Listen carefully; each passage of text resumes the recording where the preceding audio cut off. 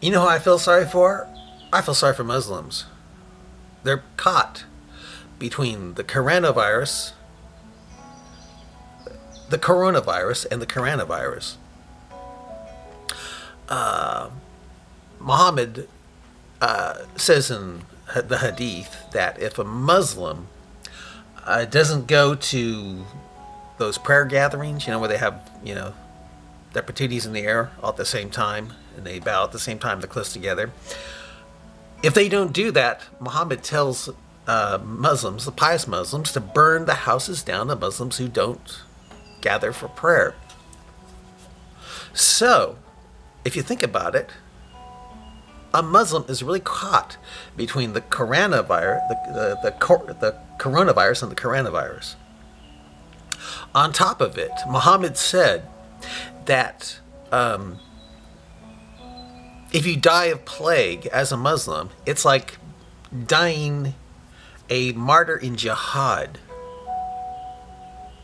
Uh, so, a Muslim is actually to go to a mosque and get contaminated so they can die a martyr in jihad by getting the plague. So, really, a Muslim is caught between two horrible situations here. They, um, and, and on top of, yeah, if they don't go, they get their house burned down and possibly killed for thought of being as out of Islam, or they get a deadly disease that can turn them into a plague rat, basically a plague rat of the 21st century. If they just, if they find this out now, and they seem to have done that because in England they're actually coughing in people's faces, coughing in the faces of old people. Deliberately doing that. I saw that with Tommy Robinson. So. Uh, I mean, if you thought Muslims were scary, now with this uh, uh, virus and the idea of becoming uh, a martyr by dying in jihad, by getting the plague, they're a lot scarier now if you think about it. So, I don't know. I, I wouldn't want to be a Muslim now. Uh, yeah. So. But anyway, Muslim, if you're watching this and you don't want to become a plague rat and risk getting shot by someone who's carrying a gun, uh, obey Quran 1094 and come to me for my reading of the before scriptures, the Bible. And if you do that, I'll tell you that um,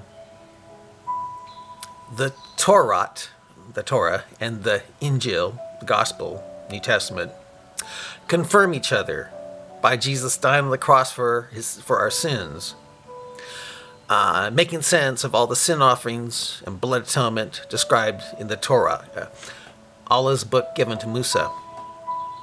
Uh, that uh, he makes sense of uh, the spotless lamb's blood being put over the doorways to keep the angel of death from killing the firstborn of Israel, which makes no sense.